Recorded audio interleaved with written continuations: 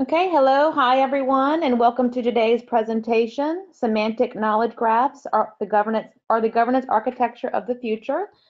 Let me start by introducing you to today's speaker. Unfortunately, Ralph Hodgson will not be able to join today's webinar. However, Jesse Lambert, our semantic solutions architect at TopQuadrant, will lead us through today's presentation. Today's focus will include a brief overview of data governance, a discussion of a few data governance challenges, a review of knowledge graphs and review use cases, a discussion of the technology behind them.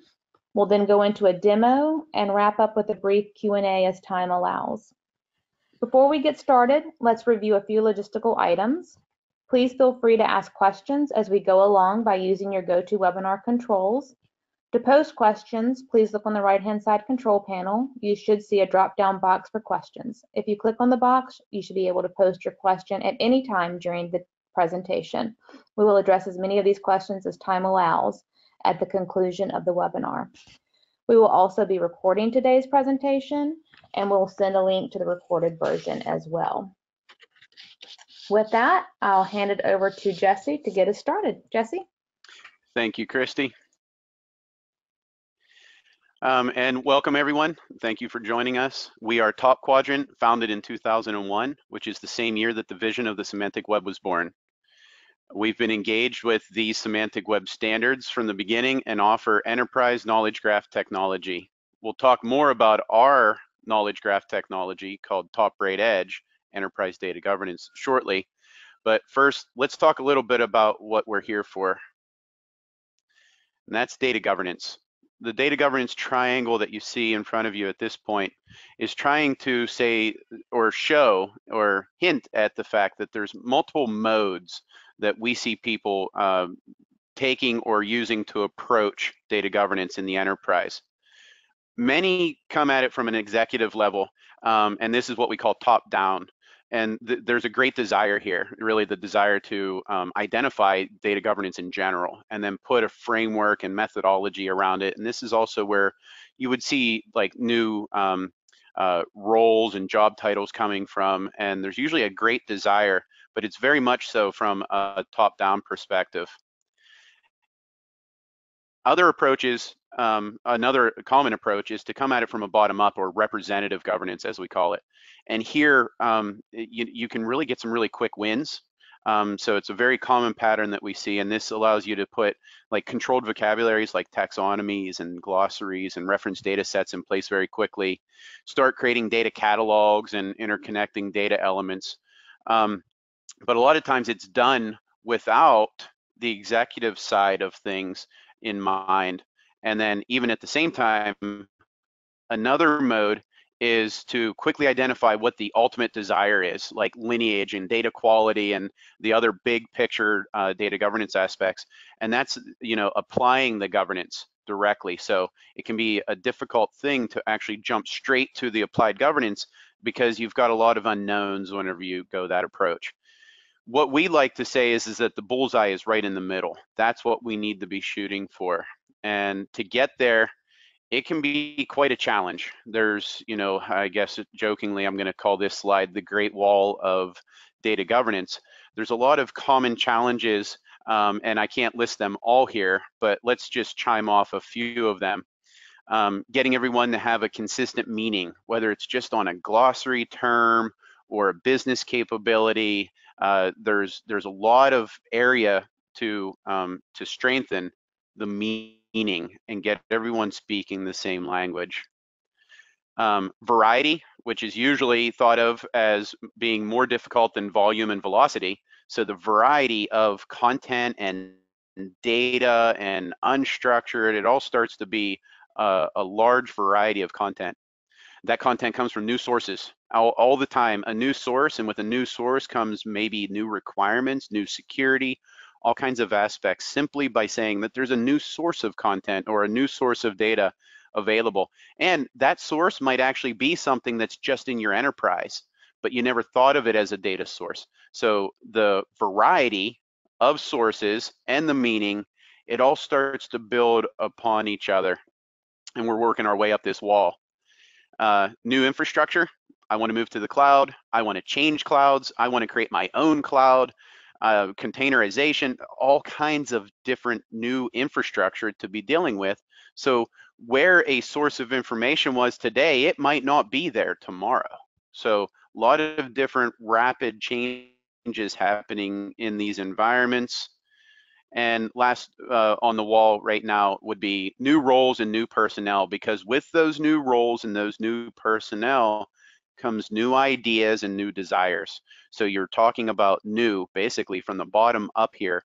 And it's because really data governance is a new aspect and it's really broad sweeping approach that covers a lot of what was considered traditional um, IT, DevOps, uh, security, quality.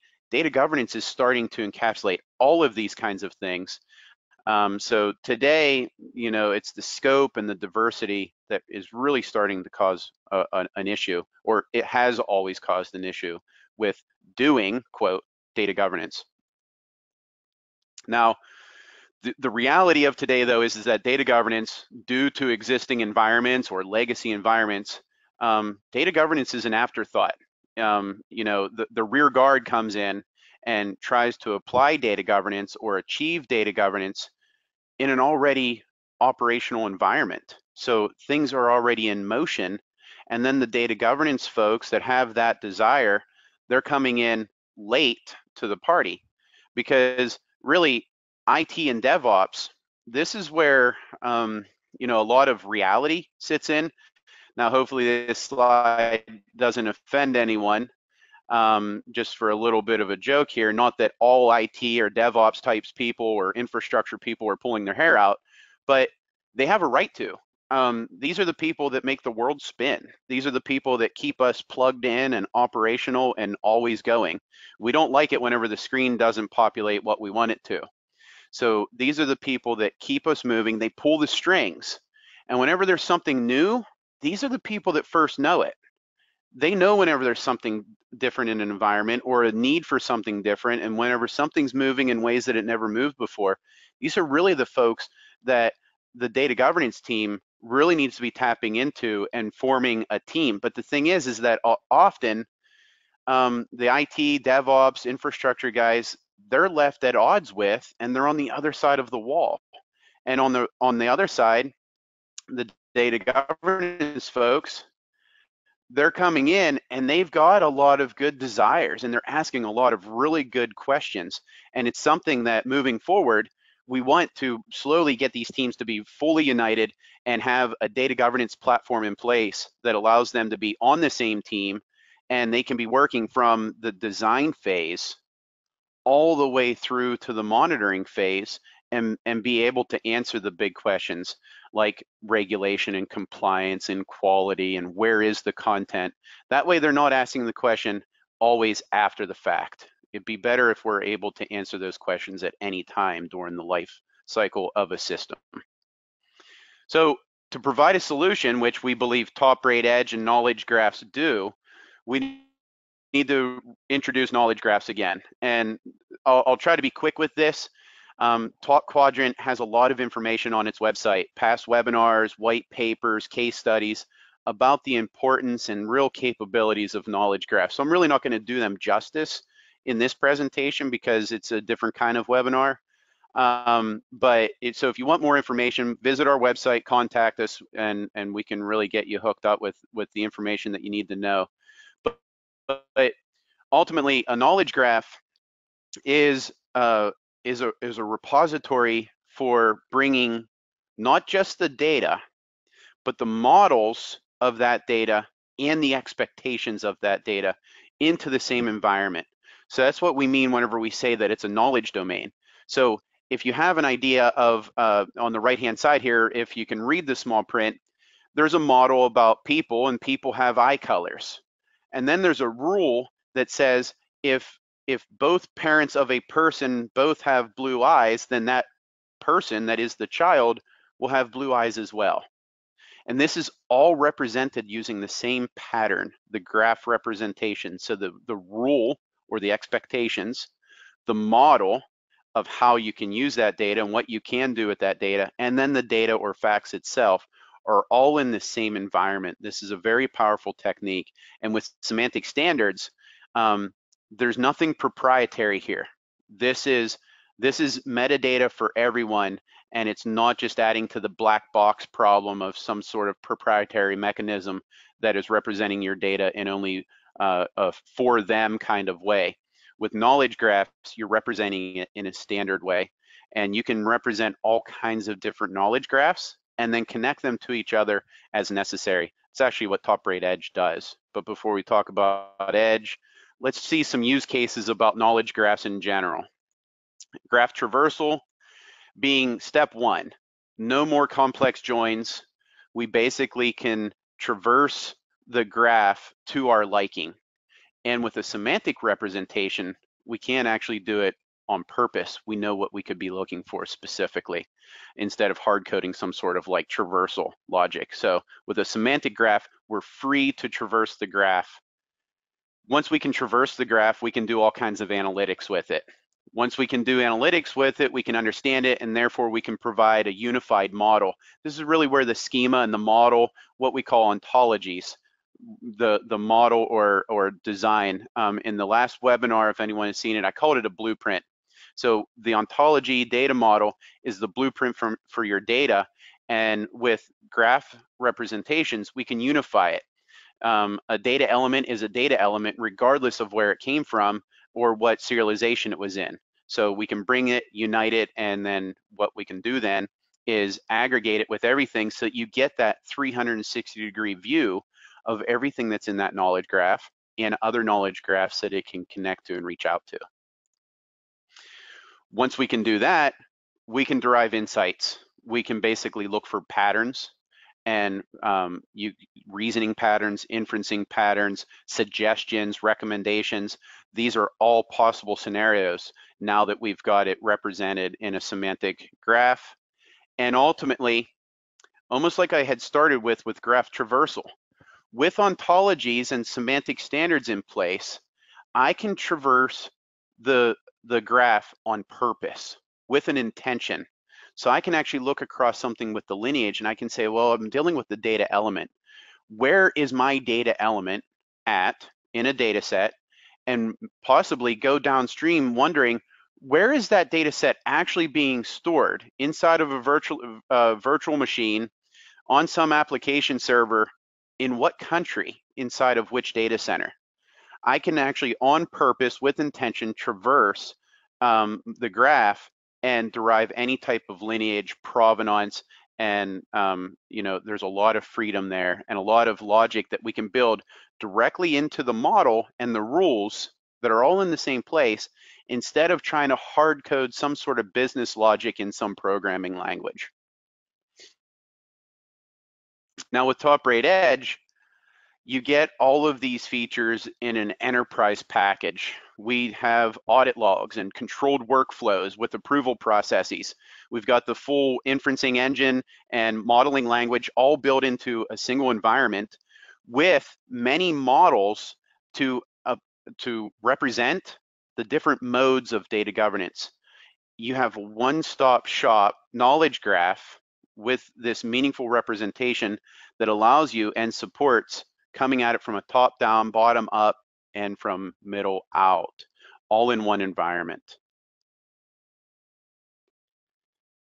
So with EDG, one of the most important things is the information architecture that's built into it, the semantic models that are there for you. So if you think of managing your governance assets inside of a knowledge graph, you would want to be able to have miniature little knowledge graphs that were focused and did what they were supposed to do well. And then they could connect to other graphs that were doing what they did well. So that's what we've done with EDG is a nice separation of concerns design in the information architecture so that you can manage taxonomies separately from glossaries and you can manage data sets separate from the technical assets that operate those, those or access those data assets. So we have different types of asset collections that cover hundreds of predefined assets. So TopBraid EDG actually knows about a lot of different things that exist in a real world environment. You can customize and tailor them. We'll actually see those in the demo without ever bringing the system down. This is real-time changes and modifications to models, and it's all gonna reflect instantly for the user interface and for programmatic interfaces. That's really the focus of the demo today or the webinar. And this is all being done so we can collaborate, catalog, and curate in a highly connected way. And that's really the power of the knowledge graph is the connections. It's what's important. So what we'll do today, uh, Christy said that we'll be doing the webinar and then we'll go into demo mode. Um, and because of some last minute changes, I'm actually gonna roll a little bit differently and I'm gonna pop in and out of multiple small demos. So this first demo, what I wanna do is show the flexibility of knowledge graphs and we'll use TopBraid EDG, of course, um, as the as the example. So what I'll do is I'll leave the slide deck, go over to my um, uh, Chrome browser, and I'm looking at the TopBraid EDG homepage. One thing I'll point out, um, uh, actually, before I point it out, this, this isn't really a TopBraid EDG demo in the sense of an overview. We've got uh, videos and uh, all kinds of guides and user guides um, on our website that you can take a look at, and there's videos there to watch if you want like general overviews or if you want to focus on ontologies or one of the specific asset types. There's information there for you what I want to point out today is it, uh, little um, specific uh, scenarios that, that show off some of the architecture and design capabilities. Um, before I go into this example of flexibility, just going to point out in the blue banner on the left-hand side, the 16 different asset collection types. This is that information architecture, separation of concerns, so that these asset collections can be worked on individually or as teams um, at different times and then connected when necessary. Um, and it's the right kind of information being collected in the right place with the right models backing it. Um, this is what TopBraid EDG is designed for. And you don't have to work with all of these. We have different packages that allow you to get the right selection of these. So it's the right fit for the job, for the right price, with the right type of support. Um, that way you're not having to deal with everything all the time um, with a full license. So it is something that we, we decompose and target specific scenarios with. I have them all turned on right now, but really what I wanna use, getting back to the demo, let's demo um, flexibility. So I have an idea of something in my mind. I wanna look up what access means. So I search on access here, and EDG is going to launch search the edge. This is our dedicated faceted semantic search. So I can, it does ranking, it brings up um, results to the top based on your search and where the results were found.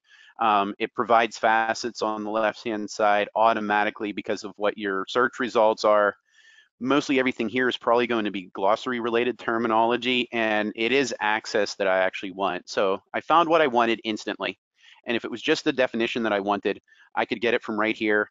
We can even comment and start some collaboration here. Different visualizations are available to you automatically, um, and that's what these icons are, are for, but that's not the focus today. Uh, I wanna get into this glossary, so I'm gonna actually click the hyperlink for access. And at this point, I'm going to be inside of the healthcare glossary. This is just a, a sample uh, example glossary that I have. And I searched on Access, I found what I wanted, I clicked on it, and it took me into it. And now I'm actually inside of the glossary. And Access is here, and on the right-hand side, you're seeing that same definition that we were seeing in the search application. So um, for flexibility purposes, I would say um, I want to add something.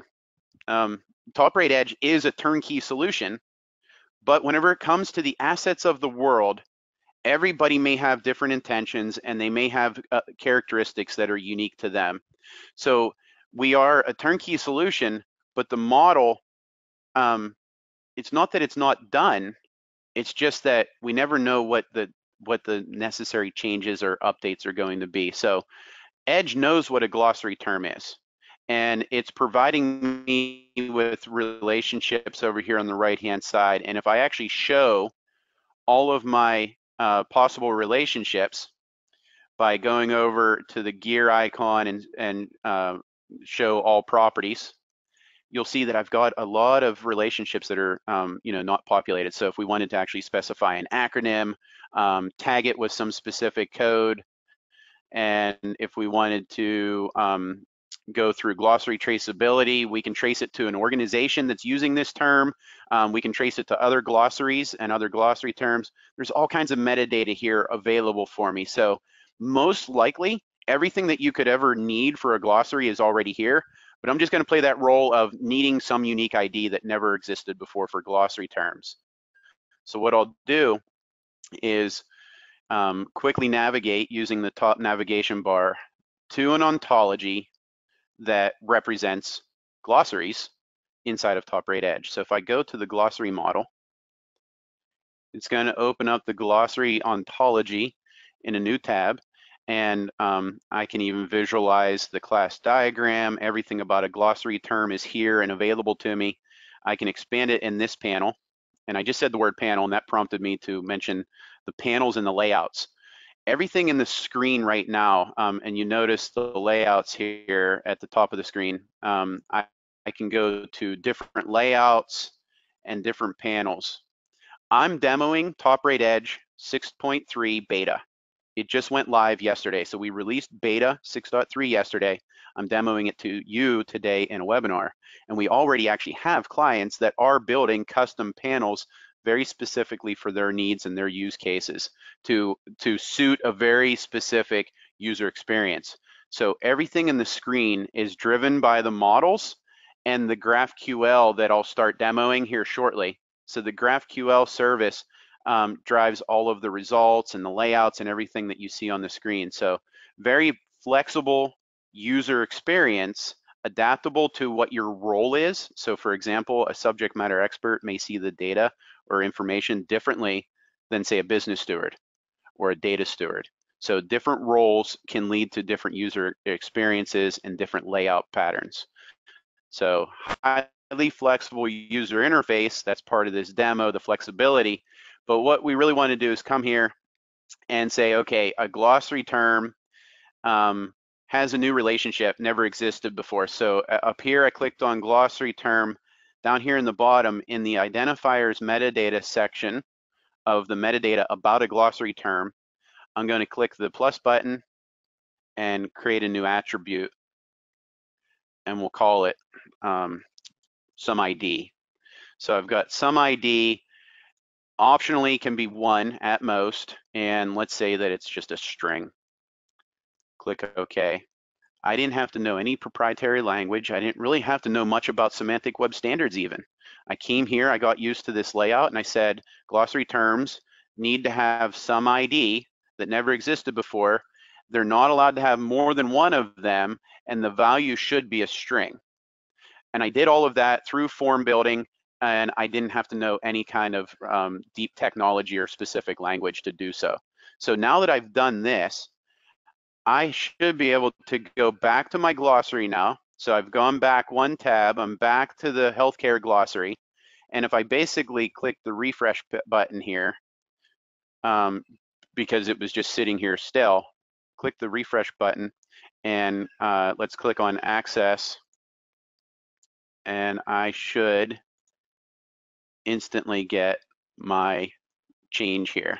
Let me um, go into edit mode.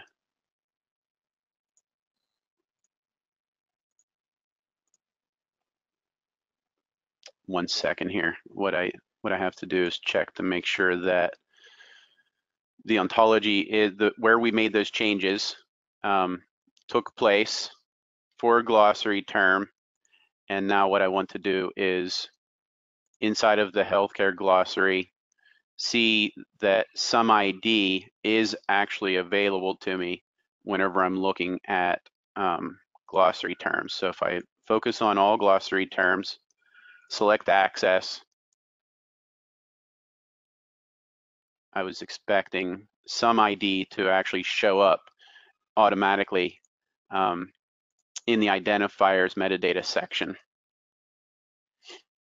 So um, with refreshing, with a hard refresh, it picked up some ID. And if I click on it, I can do the inline editing. And this is where I can at most have one some ID and it could be a string. So if I give access uh, some ID of, um, let's just say ABC, I can save my changes now.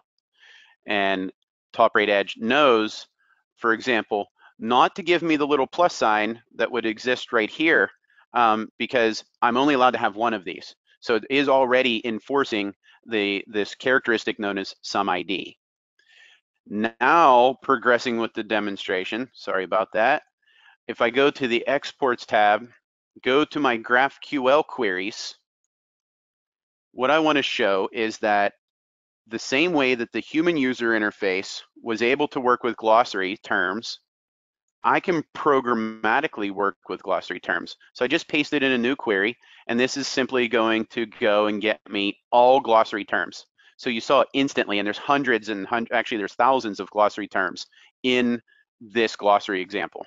So it instantly went and got me the label and the unique ID for every glossary in this knowledge graph. And then if I want to keep working on different kinds of queries here, I can copy and paste and put in different things. So if I now query specifically for that access glossary term, and I have the, the search parameter for some ID to actually be part of the result, um, there it is. So by adding some ID, a random data type attribute to glossary terms in the ontology, automatically, sorry for the delay there, automatically popped up on the user interface for me to start populating and working with if I wanted to, or if I had some sort of importer, or if I wanted to import a spreadsheet, I could populate some ID now. But more powerfully, it instantly became part of the web service tier. This is GraphQL. We'll introduce it here in a second. GraphQL is a JSON query language where I'm able to come at the exact same content that our human user interface did because GraphQL is being used to build both. This result set that you see here and all of those fancy panels and layouts and results in the user interface. So everything I need for glossaries is programmatically available to me exactly the same way um, uh, the that the user interface is able to get it. And I actually have directives and searching capabilities here that are very powerful. So I'll paste in a new example and I'm gonna return the same structure, but now I wanna search on a very specific query text. So I actually, I'm searching on this ability to obtain medical care. So which glossary terms mentions that phrase? And if I search, um, I'll get my results. And there's quite a number of them. Um, and somewhere in here, access will actually be here because um, it has that search um, search results in it. So um, if we wanted to, we could find access in the search results. What I need to do now is jump back to the presentation. I lost a little bit of time there. Um, so instead of continuing with the glossary example, let's get back into the presentation real quick and move on to the next example. um, when I introduced glossaries and that flexible example of making adjustments to the model and then populating it and even querying it, um, I introduced the 16 different asset collection types, that information architecture that's built into TopBraid EDG. We saw through adding some ID to the glossary term that um, that we can extend it and add attributes and characteristics when we need to to those existing models, and we can build entirely new models if we needed to. Um, an example that we see on the screen right now is this is a mock meta medical enterprise. So if we started at the bottom here um, and say, okay, in the other collections category, we have a glossary and some reference data. Moving up to data assets, we could represent OpenMRS data assets that are um, typical in a medical environment data sets that could be coming from all over with folks that are collaborating, doctors, um, students, all kinds of different data set content. Moving up from there, you could represent information uh, systems rep, you know, it, that are running and operating in that environment. How the data is flowing and moving about from a technical perspective and what the security aspects and the packets look like can all be described as technical assets. And before I move up a tier, let's just say that this is a nice separation of current concerns on purpose because different roles and responsibilities, top down, middle out, bottom up approaches can be used across these different asset collections so that you can put a lot of things in motion at one time and then start connecting them and map any of these different levels and, and representations of metadata to each other whenever whenever that gap has been filled and whenever that mapping is possible. So you can get a lot of things going um, all at one time inside of this environment. And then at the enterprise level, um, representing things like the hospital's organization structure for maybe like point of contact and responsibility mapping, but then also rep representing another kind of organization, businesses that the hospital has to collaborate with or gets maybe data from. And then you could map these business organizations to data sets that maybe they're the owners for or um, they're responsible for, whatever the relationship is can be put into place. And then ultimately all the way to the top, because lineage assets themselves are actually first class citizens in TopBraid EDG. Lineage seems or think you can think of it as an abstract way, but if you wanted to name a lineage and make it referenceable and share it and have those um, uh, the the different kinds of you um, uh, graphics and visualizations that we have inside of TopBraid EDG for the lineages, you can name these and represent them and share them with people. Um, so all of these different assets are maintainable and manageable in an independent way, but then highly connected. Um, and we'll see as we move on that TopBraid EDG is highly composable. And there's even aspects that are self-composing that, that connections happen automatically at times.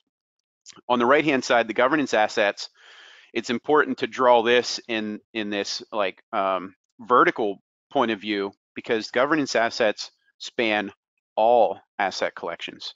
So if you have issues and policies and requirements responsibilities and roles, subject areas and teams that you belong to, um, and things that you're trying to accomplish across all asset collections, you need to be able to do so. And then we can trace the different as, um, asset collections to these kinds of things like business areas and subject areas. So a glossary may be owned by a very specific business area or uh, an, an, instance of a business area like a tiger team or a, uh, a task force could be the owner of different asset collections such as a glossary. So those asset collections need metadata. That's what drives a knowledge graph is the metadata, the, the, the, the graph that you're populating and wanting to connect.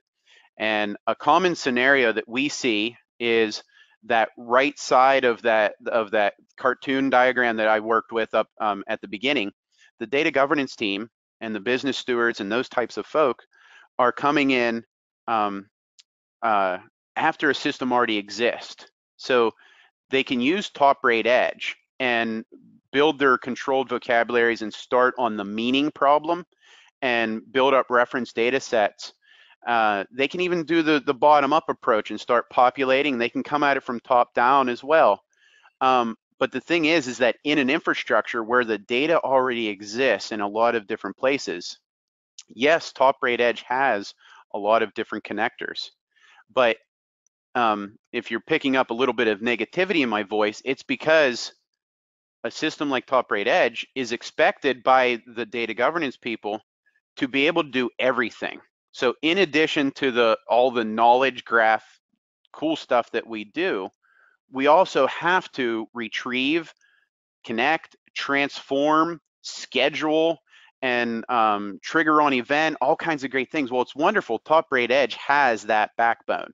It is quite a platform. So I'm positive about this scenario, but it's it's always awkward to have to come in after the fact and then be expected to go and get everything from everywhere to bring it into, jokingly almost, the mediation hub instead of being the aggregation hub or the centralization hub for data governance.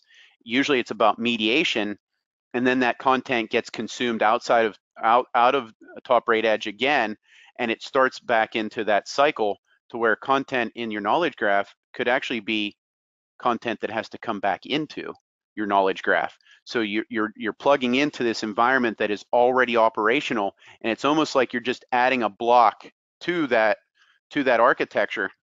And ultimately, what we want is to fill the gaps. We want to be able to um, be that knowledge graph that has the final user experience for the for the data governance office people um, that would be populated in real time. So yes, we can sit into an existing environment and we can connect to things.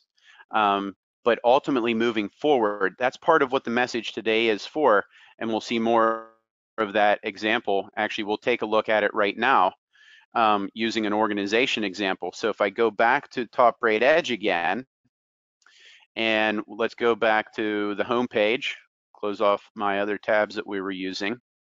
And this time, go into an enterprise asset, navigating on the left-hand side here. I've got one collection. It's called organizations. If I click on organizations, I can focus on um, I can focus on all of my uh, organizations. Um, actually, they're popping up automatically because they are enterprise assets now that I've uh, clicked on it. But if I show you their type statement in the column here, if we show you um, show you that, you can see both Acme Corp is a, let me turn off my unused properties here. There we go. We've got Acme Corp. It is a type of organization. We've got TopQuadrant, and TopQuadrant has been connected as, as a data source for different things. So that's why it has other tabs available to it. And it has a tag of TQ. So it has metadata that Acme Corp doesn't have. But um, I don't want to have to force this con to connect to something to find out about new organizations. I don't want to have to pull a data source to know that there is a, a new organization providing us information, uh, data, you know, data sets from a new source, for example. So that metadata could actually come to us through web services. So TopBraid EDG could be in the listen mode and actually be, re be receiving that content. So once again, let's go over to that exports tab and take a look at um, uh, GraphQL, and I've got to paste in. Um, actually, there is a there's there is a query here already that I can run. This is basically going to do the get me all organizations example. So if I do this, I can run it, and you can see nothing has acronyms at this point. They're showing up over here as null. So I've got those two results. I've got Acme Corp and Top Quadrant. Um, but let's go ahead and add a new organization, an organization that never existed before. Um, in our environment, but something picked up the fact that there was a new source provider. So instead of maybe a business steward having to come to the system and actually make sure that the the pull request, uh, you know, the connection was made or um, the timer went off to go and get that information from some complex environment, um, the the infrastructure team could actually be identifying the fact that there is something new and they could register it directly against TopBraid EDG so i'm going to do a mutation here that's graphql terminology for an insert basically or an update so if i run this one now um, I can see that it ran over here. I've got my feedback. The commit did happen. True is a good uh, sign over here. But maybe that's not enough for me. I also just picked up the fact that not only did this new source, which if you if you're looking here over on the left-hand side, this is the Wrexham Mailer Hospital example.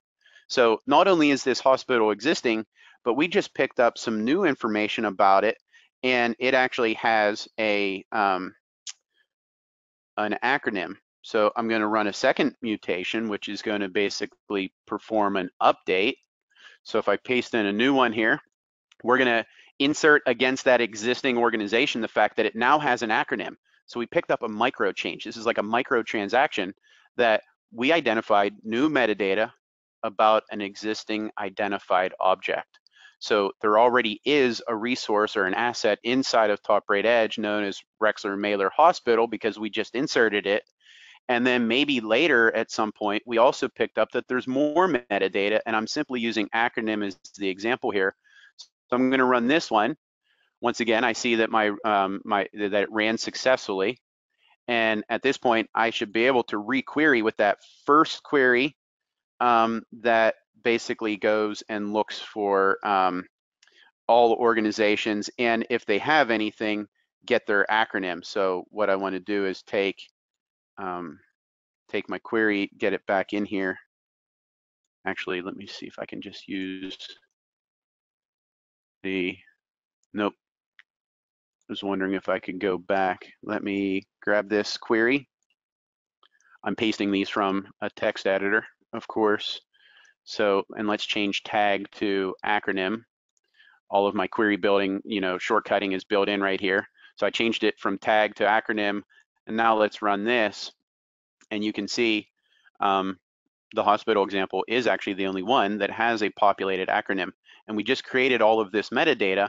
Simple example. I know it's you know really dead simple. We just created an organization, never existed before. And then we updated that organization to have a piece of metadata, simply an acronym in this case, but it could be anything. This, this uh, organization could become the provider for all kinds of new data sets that come in. And because we have IDs and all of this metadata programmatically available to an infrastructure team, they can basically start plugging in and connecting that information in the knowledge graph system in real time. And now if we would go back to the TopBraid EDG homepage, from a user interface perspective, I can go right back to my list of assets and you can see, yes, there is now a third organization in here visually. And over here on the right-hand side, I can see its metadata. So it was real-time, ingested through the web services, and both sides, integrators and developers, and both um, and the uh, actual um, human user interface uh, type users can can start seeing all of the same metadata. Going back to the slides, um, what we want to do is progress again.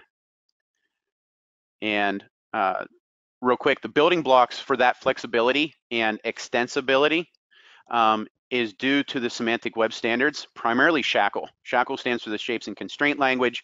It's a rich language for representing uh, the model, constraints, and rules about RDF data. So this is a very powerful language. It really operationalizes knowledge graphs. In addition to the semantic web standards, we've really embraced GraphQL for TopBraid EDG because it's it's a modern language, uh, modern layer, application layer, and it uses JSON. JSON is an integrator and developer's best friend at this point. There's a lot of tooling for it. It's well supported, and really it's basically replacing RESTful APIs. So what you saw me do today with adding a new property and we're querying things, um, we've got dynamic GraphQL being generated from our SHACL engine. So really these two pieces come together, GraphQL over top of RDF because of SHACL and really it's what we're calling semantic GraphQL. So as soon as we make a change in the ontology, as long as I can get my page to refresh, it instantly pops up and becomes available to you. So it's available in the user interface and it's available automatically programmatically. So I don't have to update some sort of RESTful web service catalog. I can basically adjust my ontology models and the GraphQL schema is automatically updated and generated so that we can actually introspect and query the schema. So far, we've seen updates against um, data set. We've ingested an organization. We queried uh, glossary terms as well. But now let's take a look at another example real quick that will show us um, the referenceability in GraphQL terms, it's introspection. Let's take a look at that and pull up my reference data sets inside of TopBraid EDG go to country codes. This is going to be our example. In country codes, I can see things. Um, I can click throughout. You know, I can click on Aruba and uh, see its, you know, multilingual ISO full names and country codes and everything about them. The tables actually has a saved query built into it. So this is actually um, a saved query that's automatically showing the, the borders with relationship. So we know that one country can border with another country. So this is a semantic model representing something as simple as a country or a country code. And it's what we would consider a piece of reference data. And therefore I'm inside of reference data sets and in the country codes example. But what we want to do is instead of querying for countries, let's ask GraphQL what a country code looks like in the first place, or what does a country, I should say, look like? And I can run an introspection query against this that will do exactly that. So as a semantic web guy, a semantic standards guy, I would normally say I can look at the ontology and tell you what I need to tell you about a country. As an integrator and developer though, I want to be able to avoid the, the deep stuff and I want to be able to say, okay, you want me to work with countries. Well, what do countries look like? And you can run an introspection query like this and instantly get back the portion of the GraphQL schema that you're asking for. And if you were to look closely on the right-hand side, this query is basically responding with the schema that says this is a country, a country has this unique ID, and it has these categories of metadata, and this is what they look like. So for example, right here is ISO 3166 two character alpha code. So this would be presented as country code, two character country code, um, and it is a string. And it actually is even showing you its um, XSD data type. So it's um, it's a string right here. So this kind of introspection through GraphQL is giving developers and integrators the language that they need. And now they can actually work with countries. Um, they can use this to enforce new applications. You could use this structure to build a new form, say on a mobile device, and then populate that data back to top edge because it was well formed because you were adhering to the GraphQL schema that is describing exactly what a country looks like. Going back to the slides again, moving forward, earlier we talked about the current scenario, a common scenario of having to be able to connect and get everything. So the data governance team comes in and says, I need to establish data governance. Where is everything? Go and get it. With this approach, uh, or a future approach, we want those teams of the data governance and the infrastructure and DevOps and engineers to be able to collaborate in a single environment and log that information and, and register that information against the knowledge graph data governance platform on purpose with intention, just like they would work with security and access control and other analytics. So the requirements to accomplish this goal I've been discussing today the model-driven JSON APIs, dynamic introspection, you know, querying the schema and getting the meaning of the content, UIs being um, dynamic. Uh, you shouldn't have to rebuild a system or rebuild a user interface simply because a piece of data changed. Um, and it's important to focus on this idea of being API driven and pumping the content into the knowledge graph instead of expecting hundreds of connectors to work out of the box. TopBraid EDG is built so you can build a new connector and get content um, in a very quick turnaround. But we're not really in the market of telling you that we have hundreds of connectors that are going to do exactly what you want them to do um, because they won't do exactly what you want them to do. It becomes a very expensive platform to maintain. It's more expensive to customize all of these connectors that need to do new things that they weren't designed to do in the first place than it was to integrate with APIs intentionally from the get-go. So that's an important aspect of a future scenario, as well as working with unstructured content. I've not gotten there yet. Um, we'll mention that here shortly. This idea, this future scenario, it's what we call knowledge graph driven development. And I want to use one more demo example and I'll quickly do it. It's focused on logical models. So going back to um, top rate edge again, and going to the home page, what I can do is navigate to um, data asset collections. And I've got several, I've got a few physical data assets, but I wanna look at this logical TQFlix data model. TQFlix is a mock-up of like a Netflix kind of scenario of having movies. Um, and I can click on the logical model and on the right-hand side, we can even visualize that logical model. So you've got um, you've got the pretty picture to work with and understand and use it for very quick access. We can sit here and populate the metadata that can extend this and map it to physical entities, connect this to glossary terms, other data elements can map to it. All kinds of connections can happen right here inside of TopBraid EDG. And the, the uh, business steward, a data steward, an architect, whatever the role would be, could actually build a logical model. And then if you were wanting to put this into use, what does that mean? It doesn't automatically mean a relational database anymore.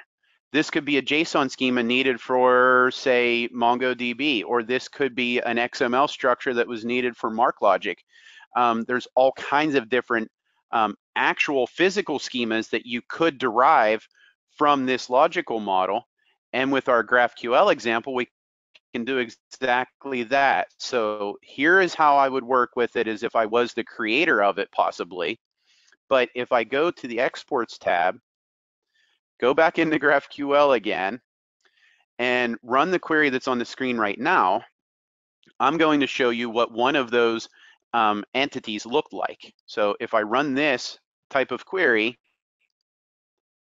on the right-hand side, what I'm actually populating is the um, is the logical entity um, known as movie. So up here at the top. So what this result set is basically is describing what is movie of that logical entity, uh, of that logical model that we were just looking at visually, and what are its uh, attributes and what type of um, characteristic are they? So for example, down here, you can see year released is being thought of as being a string. And the genre ID down here that I'm highlighting is an integer. So everything that you would need to develop any schema that you needed to implement this logical model in a real way is programmatically available to you directly into JSON. And once it's in JSON, you can convert this basically into any schema structure that you would want it to. And now instead of randomly coming up with the physical representation that you needed, data governance stewards and um, uh, the dev teams can work together and collaborate, and it can be designed in one place and then utilized to build any type of physical structure out in the environment. And there's always one single place of reference for where did that content come from. And then that makes it very easy to start logging um, information back to. So the realistic kind of metadata, the physical type metadata starts coming back in. Jesse, I just want to call attention to time. It's 1225. Yep, I'm getting back to the slides, Christy, and I'll be wrapping up. So Okay. um, pulling back up the slides. TopBraid EDG is highly composable. Um, composable in the sense that what we saw today was the ability to uh, query the structure in the schema and populate data directly against it. So human user interfaces and programmatic interfaces allow us to both compose data and schema in a unified environment. And that can also be done through controlled workflows where approval processes and everything have to happen. We actually have cookbook examples in our in our documentation for doing exactly that, creating a controlled workflow that automatically spins up a working copy. It's a full version control system basically. So you can inject your data to the right level of governance inside of Top Braid Edge. The user interface, the business logic, everything is highly composable inside of TopBraid EDG. And then really finally getting to that last point that in doing data governance, unstructured content is a big problem for people. So we need to build structured metadata for the unstructured content.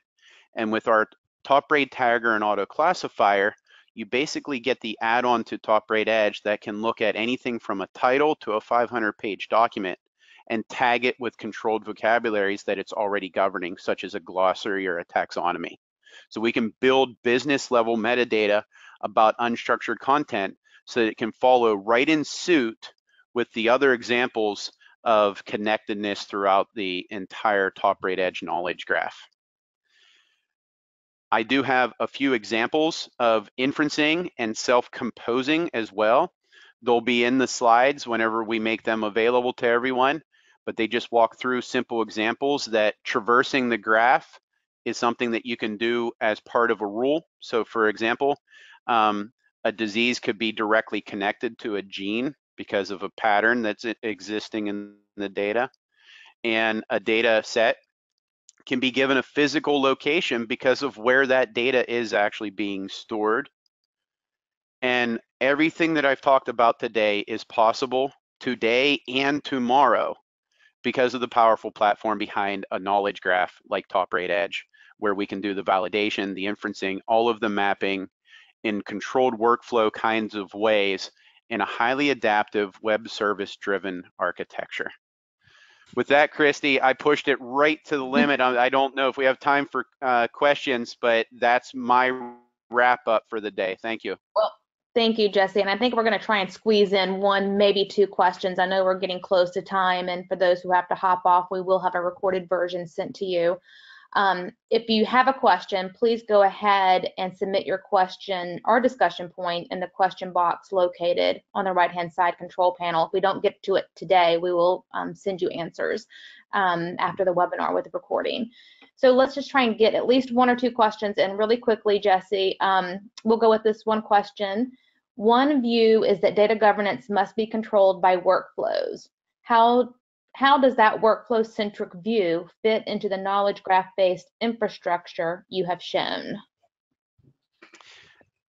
TopBraid EDG lets you, uh, good good question, Christy. Um, TopBraid EDG lets you approach data governance and uh, uh, let's talk about high-level workflows. So an approach um, for one team or one organization or agency isn't the exact workflow that another agency is going to use. So TopBraid EDG was designed with that in mind. So the type of version control and workflows that you would use inside of TopBraid EDG, approval based, uh, automated automated checks, all kinds of things that can happen inside of workflows, um, you can accomplish.